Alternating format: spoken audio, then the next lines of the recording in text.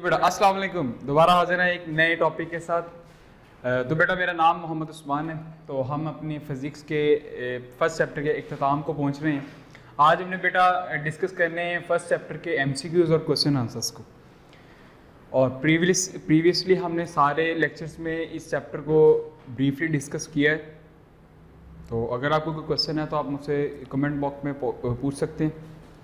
तो लिहाजा हम स्टार्ट करते हैं अपने एम और एम की जो वजूहत हैं, किस वजह से वो जो आंसर है ठीक है, वो भी मैं आप लोगों को बताऊँगा। Now let start chapter number ten simple harmonic motion और एक्सरसाइज में सबसे पहले मल्टीपल चूज़ क्वेश्चंस आ जाएँगे। बेटा, सबसे पहले लिखा हुआ है which of the following is an example of simple harmonic motion बेटा, हमने तीन एग्जांपल्स को डिस्कस किया जो पिछले हमारे लेक्चर से उसमें तो इसमें जो इसमें चार ऑप्शन लिखी हुई है, इसमें लिखा हुआ है motion of a simple pendulum A B is motion of a ceiling fan C the spinning of the earth on its axis D a bounce ball on a floor तो बेटा इसमें जो फ़र्स्ट ऑप्शन है right option is A है। क्यों? क्योंकि हमने पहले डिस्कस कर लिया है कि जो ए का जो पार्ट है फ़र्स्ट सॉरी फ़र्स्ट क्वेश्चन का जो हमारे पास आंसर है, वो क्या है? ए वो क्यों है? Simple harmonic motion motion of a simple pendulum because its vibrate about a fix point और बाकी जितने भी एग्जाम्पल्स है, उसमें वाइब्रेशन नहीं हो रही फिक्स पॉइंट के अराउंड ठीक है? ए ऑप्शन इसलिए ठीक है. नंबर टू नंबर टू में बेटा, हमारे पास उसने कहा हुआ है if the mass of the bob of pendulum is increase by a factor of three the period of pendulum's motion will A में उसने लिखा हुआ है be increase by factor of two B में लिखा हुआ है रिमेन सेम सी में लिखा है be decrease by factor D में लिखा है be decrease by factor four तो बेटा इसका जो राइट right आंसर है, वो है बी बिकॉज़ बिकॉज़ हमने टाइम पीरियड का फॉर्मूला पढ़ा हुआ है। Time period is under two pi under root L over G तो बेटा मैं एल जो, मैं चेंज कर ही जाऊँ, इसके टाइम पीरियड पे हैज़ नो इफ़ेक्ट उसने क्या पूछा हुआ है? पीरियड पीरियड का मतलब टाइम पीरियड पे क्या इफ़ेक्ट आएगा? क्योंकि इफ़ेक्ट नो नो इफ़ेक्ट आएगा रिमेन अनचेंज या रिमेन सेम क्यों? क्योंकि it is independent of mass किसके हैं? इंडिपेंडेंट ऑफ़ मैस के जो मैस ऑफ़ द बॉब है उसके इंडिपेंडेंटली रिलेट कर रहा है हमारे पास आ गया जी थर्ड एमसीक्यूज थर्ड एमसीक्यूज है which of the following devices can be used to produce both transverse and longitudinal waves a string a ripple tank a helical spring slinky a tuning fork बेटा हमने जब अपने last lectures को discuss किया था तो आप लोग बुक में से भी देख सकते हो कि उसने हेलिकल स्प्रिंग हेलिकल स्प्रिंग जिसको सिल्की स्लिंकी भी कहते हैं सॉरी स्लिंकी भी कहते हैं, हम वो यूज़ करते हैं। तो it means that C part is correct क्यों? क्योंकि ये यूज़ होता है बहुत transverse and longitudinal waves इन दोनों को क्रिएट करने के लिए हम ये वाला स्प्रिंग यूज़ करते हैं। ये इसका जो राइट right ऑप्शन है, वो है helical spring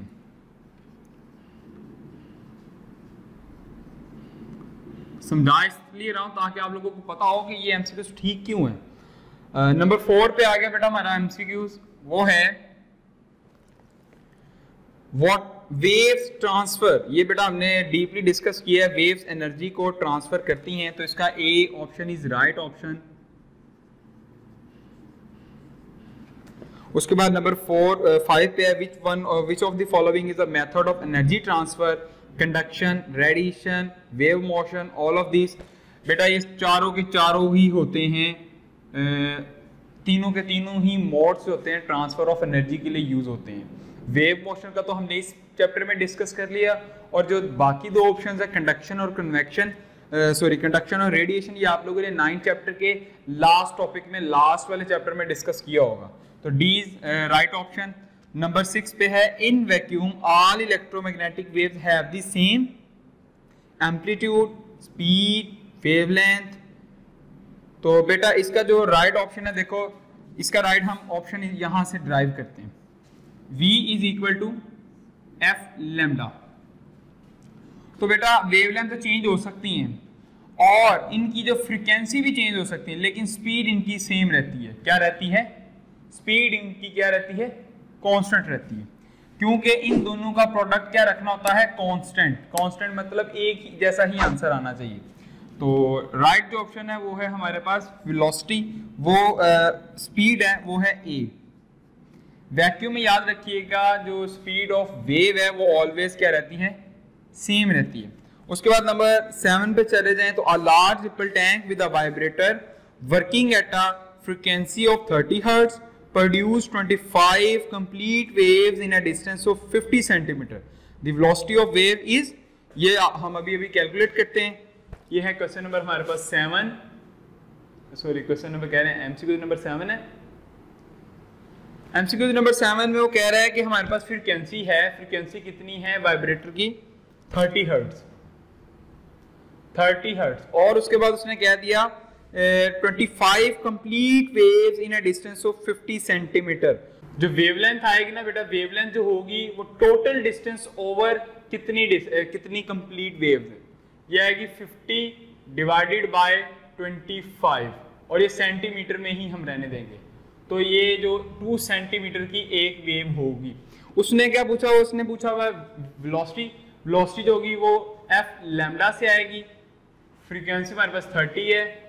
Into two which is equal to 60 centimetre hertz आ जाएगी सेंटीमीटर पर सेकेंड फ्रीक्वेंसी का यूनिट हर्ट्स होता है और उसका होता है one over one over F तो हम इसको लिख सकते हैं 60 सेकेंड पर सेकेंड 60 सेंटीमीटर पर सेकेंड तो इसका जो राइट ऑप्शन होगा, वो होगा B B is the right option ठीक है? यहाँ पर नहीं, आप लोग यहाँ पर लिख लो इसका.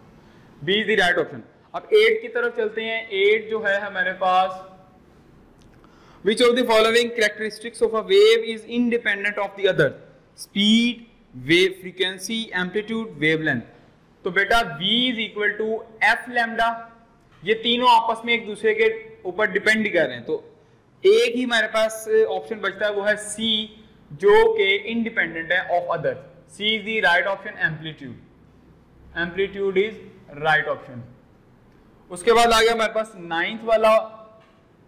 नाइन्थ वाले एमसीक्यूज में क्या कह रहे थे? Relationship between V is equal to F lambda तो बेटा ये हमें पता है V is equal to F lambda वाला, और उसने पूछा हुआ है रिलेशन तो ये हमारे पास है right option D B is the right option ठीक है बेटा? जहाँ पे लिखा होगा v is equal to F lambda तो अब चलते हैं हम अपने क्वेश्चंस की तरफ़। रिव्यू क्वेश्चंस हैं। यहाँ तक बेटा, अगर ना समझ आई हो तो आप मुझे कमेंट बॉक्स में कमेंट करके क्वेश्चन पूछ सकते हैं।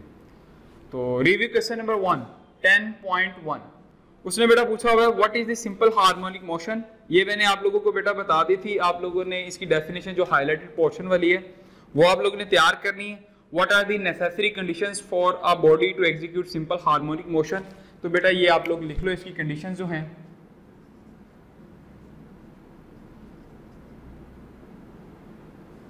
फ़र्स्ट कंडीशन फ़र्स्ट कंडीशन ये है कि सिंपल हार्मोनिक मोशन के लिए एक वाइब्रेटिंग बॉडी का होना ज़रूरी है। Vibrating body should exist should should be executing simple harmonic motion S H M दूसरा बेटा जो इसकी कंडीशंस हैं, वो ये हैं कि जो इसकी एक्सेलरेशन है,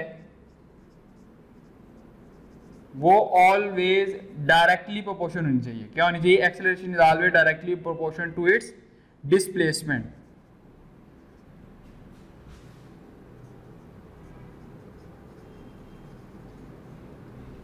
ये मैंने फॉर्मूला कहाँ से निकाला है जो हमने डायरेक्ट प्रूव किया हुआ था? Acceleration is directly proportion to minus X अच्छा बेटा नेक्स्ट क्वेश्चन आ गया think of several examples of motion in everyday life that are that are simple harmonic motion तो बेटा आप लोग देख सकते हो सिंपल पेंडुलम की एक बहुत सादा सी एग्जांपल है जो हमने डिस्कस की अपने चैप्टर में। नंबर टू पे हम अगर ले लें बॉल एंड बॉल सिस्टम की वो भी एक, बेस्ट ऑप्शन है सिंपल हार्मोनिक मोशन की। तो बेटा यही आप लोगों ने लिख लेनी इसकी भी एग्ज़ाम्पल में।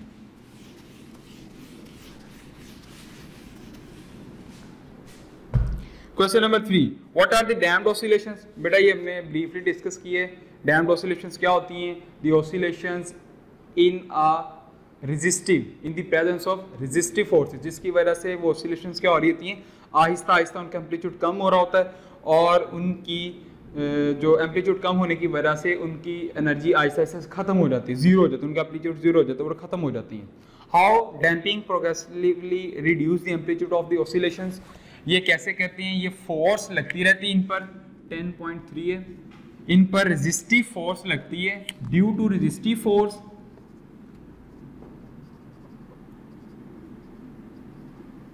resistive force उनकी वजह से जो एम्पलीट्यूड है, इनका कम होना शुरू हो जाता है। ठीक है? Amplitude going to reduce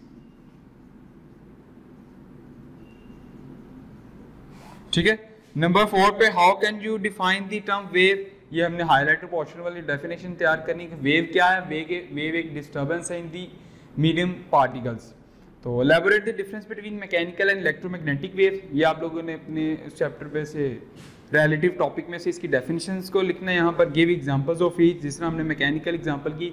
mechanical waves की कौन सी एग्जांपल देखी थी? साउंड वेव वाटर वेव्स ऐसी वेव जिन्हें मीडियम uh, की रिक्वायरमेंट होती है फॉर देयर प्रोपोगेशन और इलेक्ट्रोमैग्नेटिक वेव्स की कौन सी देखी थी? Radio waves X-rays etcetera etcetera distinguish between longitudinal and transverse waves between the suitable example तो 10.5 आ गई बेटा हमारे पास. 10.5 में हमने उसी तरह बेटा ये लॉन्गिट्यूडिनल ट्रांसफ़र वेव्स की जो एग्जांपल्स हैं और जो डेफिनेशंस हैं वो आपने रिलेटिव टॉपिक में से कर लेनी। है एक दफ़ा फिर बता देता हूँ लॉन्गिट्यूडनल वेव्स ऐसी वेव्स होती हैं जिनमें वेव की मोशन और पार्टिकल्स की मोशन एक जैसी होती है और ट्रांसफ़र वेव ऐसी होती है जिसके अंदर वेव की मोशन और पार्टिकल्स की मोशन परपेंडिकुलर होती है। ठीक है बेटा? ये है हमारे पास लॉन्गिट्यूडनल वेव्स